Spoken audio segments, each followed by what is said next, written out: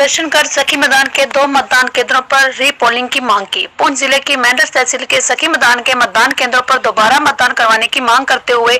गुरुवार को भारी संख्या में स्थानीय लोगों और चुनाव में भाग लेने वाले एक उम्मीदवार को छोड़कर अन्य सभी उम्मीदवारों ने प्रदर्शन किया।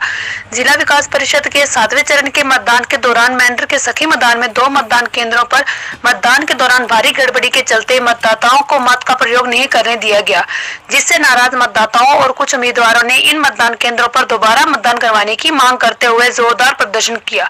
प्रदर्शन कर रहे उम्मीदवार और मतदाताओं का कहना है कि मेंढर के सखी मैदान के दो मतदान केंद्रों पर कुछ लोगों द्वारा जबरन कब्जा किया गया था और मतदाताओं को मतदान नहीं करने दिया गया, जिसका विरोध बुधवार को भी किया गया था, लेकिन उनकी आवाज़ को दबाया गया, मजबूर होकर आज दोबारा दूसरे दिन सड़कों पर उतरना पड़ा लगा देंगे।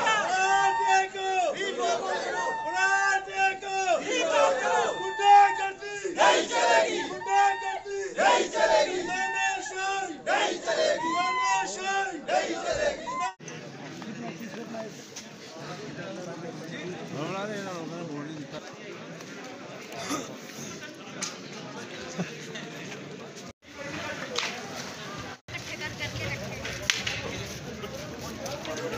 लाए हैं हमारे जितने भी यहाँ कैंडिडेट्स मैडम परवीन सरवर जी और यहाँ हाजी मीर मोहम्मद साहब शायर मिर्ज़ा साहब। हक छीना है और लोग जो है, वहाँ मेरी माएँ, वहाँ मेरी बहनें, वहाँ मेरे डीसी साहब का हम शुक्रिया देखिए, पहले मैं आपको बता दूँ कि जम्मू कश्मीर अपनी पार्टी ने सुबह साढ़े सात बजे ही एक return complaint police station Mendhar में दी थी। उसके बाद हमने इलेक्शन कमीशन को लिख दिया था कि ये बूथ कैप्चर हुए हैं और उन बूथ का नाम हमने इलेक्शन कमीशन को एक्सप्लेन कर दिया था। उसके बाद कल हमने एक प्रदर्शन जो है ऑल पार्टीज़ ने मिलकर यहाँ लीड किया था। हमारी सरकार से डिमांड थी अ, स्टेट इलेक्शन कमिश्नर से और chief election state election commissioner से और डिप्टी कमिश्नर से कि जो ये दो पोलिंग बूथ है इन पर रीपोलिंग करवाई जाए जिस पे डीसी साहब ने हमें आज अश्योर किया है कि इन दो पोलिंग बूथ पे स्पेशल रीपोलिंग होगी और हम इस यकीनदानी के बाद हमने अपना आंदोलन जो है वो ख़त्म कर दिया। आ, मैं Chaudhary Nazir Hussain advocate alliance candidate मैं गुजारिश करना चाहता हूँ कि कल जो हमारे हमारा पोलिंग हुआ है इस कंस्टिट्यूंसी बी में आ, मैं ये कहूँ आपको कि वहाँ सखी मैदान के अंदर जो दो पोलिंग स्टेशन हैं उन पर बड़ी धांधली हुई और बूथ कैप्चरिंग करके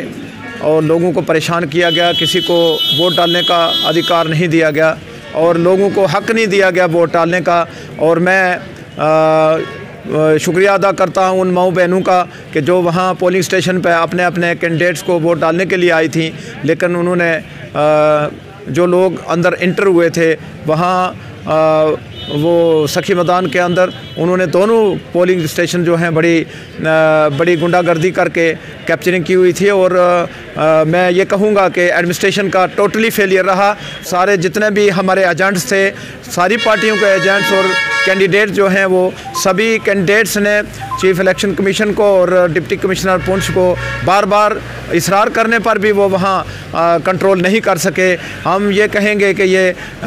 बड़ा बड़ी ज़्यादती हुई है ये जुल्म हुआ है लोगों के साथ। और डीसी साहब जो आज यहाँ तशरीफ़ लाए थे उनके साथ हमारी बात हुई है और सभी उम्मीदवारों ने रिटर्न में रिप्रेजेंटेशन दी है और उन्होंने आश्वासन दिलाया है इंश्योरेंस एश्योरेंस दिलाया है कि वो आ, कह रहे हैं कि हम इलेक्शन कमीशन से इसका ऑर्डर करा के रीपोलिंग करवाएँगे।